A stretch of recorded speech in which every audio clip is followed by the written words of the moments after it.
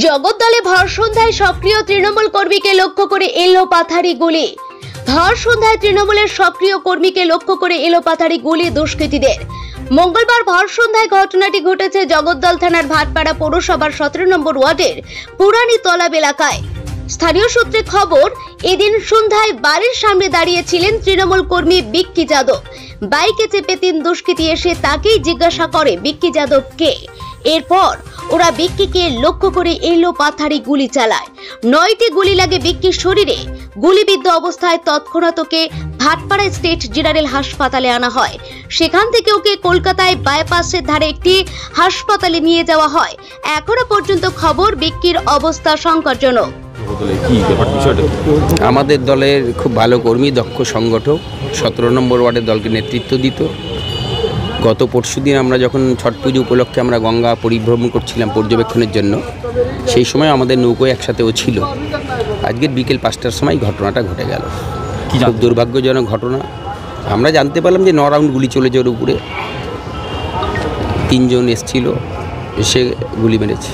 পুলিশের সাথে কোনো কথা হয়েছে এই বিষয়টি আন্ডার ইনভেস্টিগেশন পুলিশ এখনই কী করে মতামত দেবে? এই উৎসবের মরশুম হঠাৎ করে গুলি চালানোর ঘটনা আতঙ্কিত কত কি বলব বলুন? দুর্ভাগ্যজনক ঘটনা এছাড়া তো কিছু বলার নেই না। এখন যে যার গুলি লেগেছে তৃণমূল কর্মী বলছেন কেমন আছেন জানেন? খুব গুরুতর অবস্থা। খুব সংকটজনক অবস্থার মধ্যে আছে। মানে ভগবানের কাছে প্রে করি ওকে বাঁচিয়ে দিক। আপনার নাম? দেবজ্যোতি ঘোষ। জগদ্দলে ভর সন্ধ্যায় সক্রিয় তৃণমূল কর্মীকে লক্ষ্য করে এলো পাথারি গুলি। ভর সন্ধ্যায় তৃণমূলের সক্রিয় কর্মীকে লক্ষ্য করে এলো পাথারি গুলি দুষ্কৃতীদের। মঙ্গলবার ভর সন্ধ্যায় ঘটনাটি ঘটেছে জগদ্দল থানার ভাটপাড়া পৌরসভার সতেরো নম্বর ওয়ার্ডের পুরানি তলাব এলাকায়। স্থানীয় সূত্রে খবর, এদিন সন্ধ্যায় বাড়ির সামনে দাঁড়িয়েছিলেন তৃণমূল কর্মী বিক্কি যাদব। বাইকে চেপে তিন দুষ্কৃতী এসে তাকেই জিজ্ঞাসা করে বিক্কি যাদব কে। এরপর ওরা বিক্কিকে লক্ষ্য করে এলো পাথারি গুলি চালায়। নয়টি গুলি লাগে বিক্কির শরীরে। গুলিবিদ্ধ অবস্থায় তৎক্ষণাৎ ওকে ভাটপাড়া স্টেট জেনারেল হাসপাতালে আনা হয়। সেখান থেকে ওকে কলকাতায় বাইপাসের ধারে একটি হাসপাতালে নিয়ে যাওয়া হয়। এখনও পর্যন্ত খবর বিক্কির অবস্থা সংকটজনক? আমাদের দলের খুব ভালো কর্মী দক্ষ সংগঠক সতেরো নম্বর ওয়ার্ডের দলকে নেতৃত্ব দিত। গত পরশুদিন আমরা যখন ছট পুজো উপলক্ষে আমরা গঙ্গা পরিভ্রমণ করছিলাম পর্যবেক্ষণের জন্য সেই সময় আমাদের নৌকোয় একসাথে ও ছিল। আজকের বিকেল পাঁচটার সময় ঘটনাটা ঘটে গেল। কি খুব দুর্ভাগ্যজনক ঘটনা। আমরা জানতে পারলাম যে ন রাউন্ড গুলি চলেছে ওর উপরে।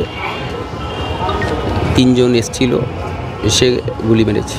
পুলিশের সাথে কোনো কথা হয়েছে এই বিষয়টি না আন্ডার ইনভেস্টিগেশন পুলিশ এখনই কী করে মতামত দেবে?